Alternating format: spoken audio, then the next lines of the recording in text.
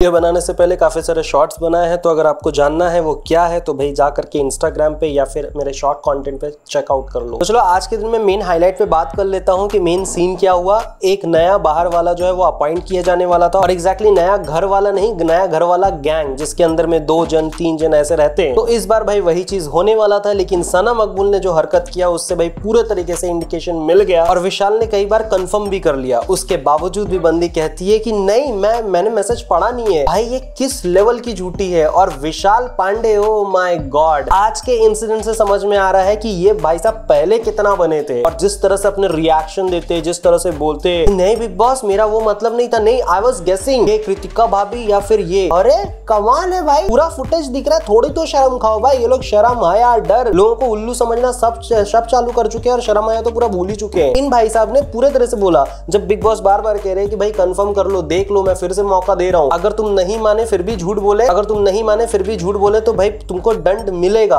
लेकिन फिर भी नहीं माने ये लोग। बेशर्मी देख लो यार, एक बंदा पूरे तरह से खुला झूठ बोल रहा है और उस चीज़ को वो डिफेंड भी कर रहा है, जबकि फुटेज सामने में है। उस फुटेज तक को बोल रहा है, बाहर में ना कुछ ऐसा दिख रहा होगा। भाई, ऐसा क्या होता है यार? मैं जब से बिग बॉस देख रहा हूँ ना, इन लोगों का एक ही चीज़ है। खास करके पिछले छह सात साल से ऐसा चल रहा है कि बाहर में ना कैसा दिख रहा होगा, बाहर में ना ऐसा दिख रहा होगा, बाहर ना ऐसा सोच रहे होंगे लोग, अरे भाई तुम जो कर रहे हो, वही तो बाहर दिखेगा ना। तुम्हारे कपड़े के कलर थोड़ी ना चेंज हो जाएँगे। तुम्हारे आवाज़ जो आ रहे हैं, तुम्हारे जो डायलॉग्स निकल रहे हैं, वो थोड़ी ना चेंज हो जाएँगे। फिर भी कहे जा रहे हैं, नहीं नहीं, ऐसा नहीं है। मेरा मतलब वो नहीं था। क्या मतलब कमाल है। चलो, इसके बाद से जो भाई टास्क दिया गया, उस टास्क को लेकर के मैं बहुत ज़्यादा श्योर था कि इसके अंदर में सना मकबूल और विशाल पांडे दोनों जाने वाले लेकिन भाई, ऐसा नहीं हुआ। बिग बॉस ने गेम ज़बरदस्त खेला और अभी जितना कम समय बचा और लोग जो इतने अंदर ज़्यादा भरे पड़े, उनको निकालने का शुरुआत किया जा चुका है कि ये जो टास्क था अभी, उस टास्क में भाई क्लियरली दिख रहा था कि ये सिर्फ़ टास्क का नाम दिया गया है और सना सुल्तान और अपने अदनान को इन दोनों को निकालना था। अदनान ने बहुत ज़्यादा रूल ब्रेक किया था, उसका निकलना वैसे भी बनता था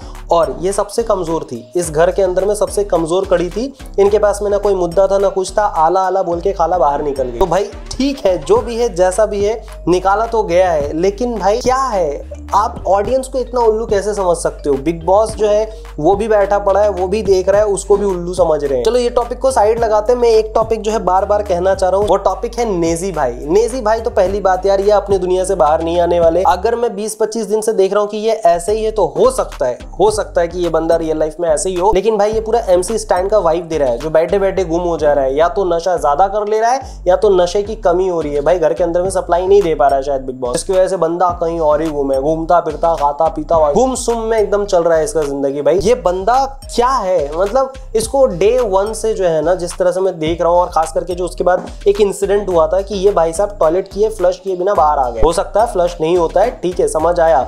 लेकिन यार you can use the brush also लेकिन नहीं, इस भाई साहब को बेसिक चीज़ों के बारे में नहीं पता है। अब दो चीज़ हो सकती है। या तो ये इतने गरीब है कि ये पब्लिक टॉयलेट में जाते हैं, या फिर ये इतने अमीर है कि इन्होंने कभी भी संडास को जाकर के देखा ही नहीं। या निकला बाहर, अब वो नौकर आके देख लेगा। दो में से कोई एक चीज़ तो होगा ना भाई? ये भाई साहब पूरी तरह से पुनित सुपरस्टार का याद दिला रहे भाई की वो बंदा आया था, हग करके चौबीस घंटे में बाहर जा चुका था। ये बंदा जो है, सीधा ट्रॉफी लेकर के जाएगा। और शायद ऐसा हो चुका है कि जो जितना ज़्यादा पॉपुलर है, या फिर कुछ उस हिसाब से चल रहा है अभी बिग बॉस का, कि भाई दे दो, वरना हमें बहुत हेट मिलेगा। हमें कहीं कैंसिल वैंसिल ना कर दे। तो भाई, मैं सच बता रहा हूँ, मुझे डाउट है, इस बंदे को कहीं हाथ में ट्रॉफी दे करके जिता ना दे। हो सकता है ऐसा, पर ये बंदा का एक और चीज़ देख रहा हूँ कि इस बंदे ने पता नहीं कौन सी घुट्टी ऐसे सना मकबूल से पी चुका है कि इसको पता है शी इज़ रॉन्ग उसको पता है कि वो गलत है हर जगह से, हर तरह से। लेकिन बंदा जो है ग्रुप में कुछ और बोलता है कि नहीं भाई, मैं अभी नहीं जाएगा, वो मेरे को ना पट्टी बढ़ा देगी, वो अभी भी एक्सेप्ट नहीं कर रही है, और एक्सेप्ट नहीं कर रही तो सॉरी भी नहीं बोलेगी वो तो मैं नहीं जा रहा उधर पे। बंदा